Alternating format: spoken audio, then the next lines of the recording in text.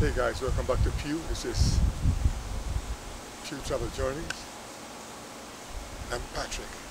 Today, a quick thing, you know what I mean? I know we've been touching the thing about traveling and places and stuff like that, but I want to inject here. We have a situation in Trinidad where it's shut down again because of the pandemic. People are not listening. They want to do what they want to do and cause a country to go and shut down again. Hey guys, you guys have to listen. You guys gotta be obedient. You know what I mean?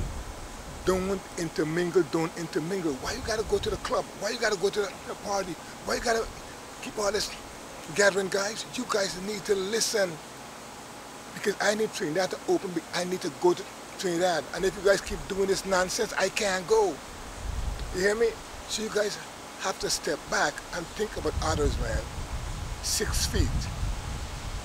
No clubbing. Wash your hands. Wear your mask. Uh, you go to work, get off work, go home. Now you guys curfew.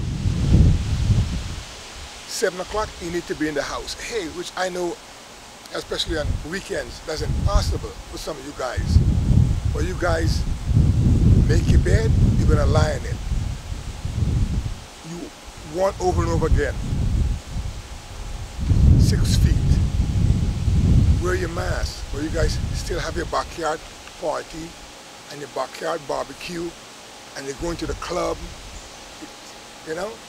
But here, man, I feel you guys. Here what we gonna do. We got a plan. Wear your mask, go to work, go home for three months straight. And this thing gonna go away. But if you guys still want to party, hey, it's going to remain. Alright? But I got somebody want to say something to you. So just stay safe. Peace out.